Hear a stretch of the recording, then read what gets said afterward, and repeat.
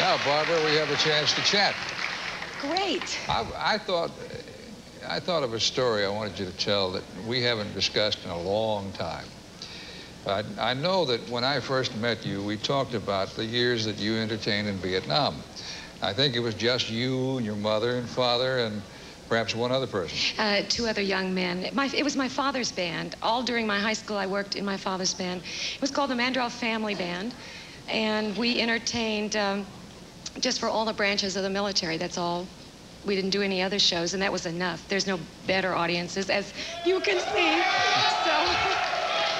And it was just, it was a great experience because, you know, in the late 60s like that, uh, Vietnam was happening. And, um, and so at any rate, I happened to have had uh, quite an education doing that. And I, I care so very much for those that served in Vietnam.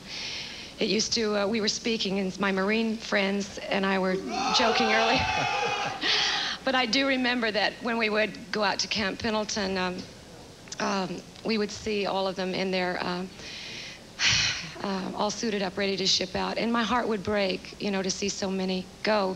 And this time when Saudi Arabia, uh, with the Gulf situation, um, I've been to Saudi Arabia. I was there, uh, my band and I were there in 1977. And uh, it is not, um, it's real sandy. It is not, um, it's not Tennessee, you understand. And uh, at any rate, it was also being a woman, it was quite an education for me because I found out I'm really nothing, you know. When you were performing there, were you performing for uh, American nationals? Uh, actually, one evening, it was almost like performing for the UN. I sort of remember it because there were 23 nationalities there that evening. They worked for like Aramco and companies like that. Did you that. have to observe the Arabian customs yes, in your dress? I, before we went, um, you know, we are very privileged to be the capital of Tennessee here. And so I asked them uh, for all the information, and they told uh, they told us. And my girlfriend Patsy Sledd made my costumes then, and so my costumes were up to here, mm-hmm. and down to here, and down to here. Everything okay, was mean, covered. You, you, didn't. You didn't wear that little gownless evening strap number that you had on while no. no, I That'd go over big in Riyadh, wouldn't it? well, I, I, I wanted you to tell a particular story. Uh-huh. The story about your mother and the two of you getting dressed. you love that I story. love that You always make me tell that But story. I think it's okay. a cute story and certainly appropriate. in in Vietnam, um, you know, there were. I hate to admit this, but there was sometimes we'd go for a week without being able to bathe. And um, at any rate, we were so fortunate because at this one particular place that we were, there was a Quonset hut that had showers in it.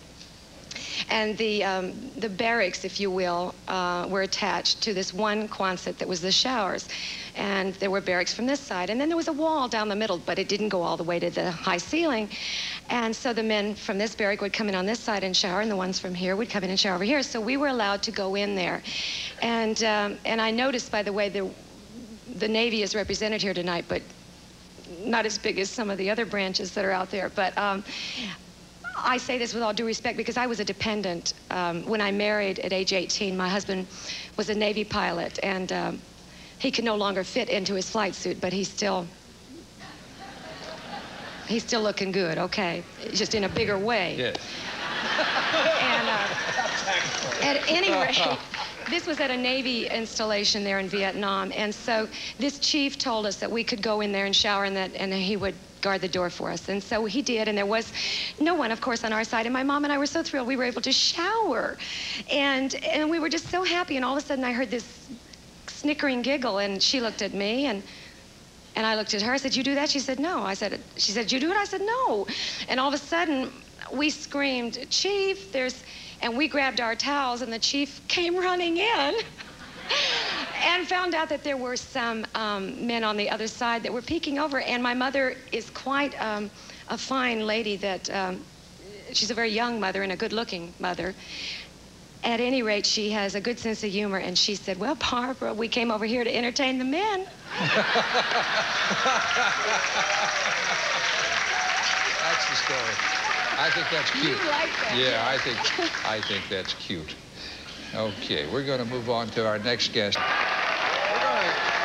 to spend a moment or two out here in the audience. And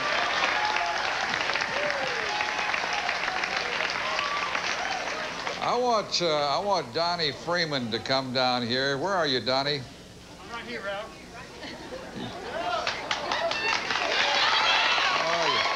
Nice to see you.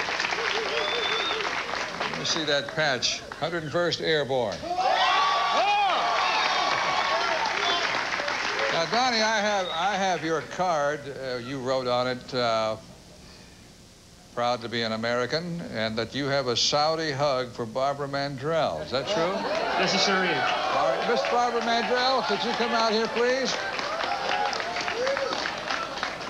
When did you get home? Last night. Well, you, Barbara, he just got home last night. Oh, Donnie, welcome home. Thank you.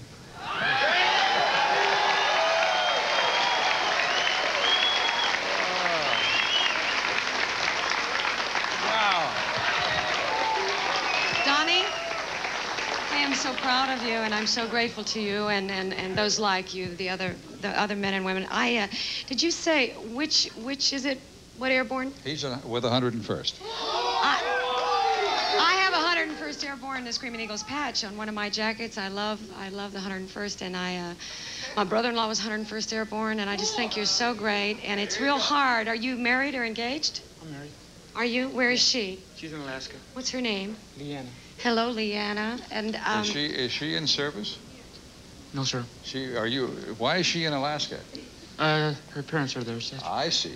Well, Donnie, I know it's so hard, and, and, and certainly she knows. It's so very hard to be apart. And uh, I know when my husband deployed, uh, the nine months apart is, it's horrible. It's really, but isn't it wonderful to be back together? You'll be there seeing her soon? Sure will. Great. And thank you for that hug. Thank you. Oh, he wants another. Donnie, thank you very much. Welcome home. You got a little lipstick on you. That's okay. Thank you, Barbara. You can walk in front of me if you like. Several years ago, at the Roy Acuff Theater in this complex, I was privileged to introduce Barbara Mandrell in a performance uh, for a live recording, uh, which was concluded with the Battle Hymn of the Republic. It was a stirring rendition that day, and I'm sure it will be tonight. Here again is Barbara Mandrell.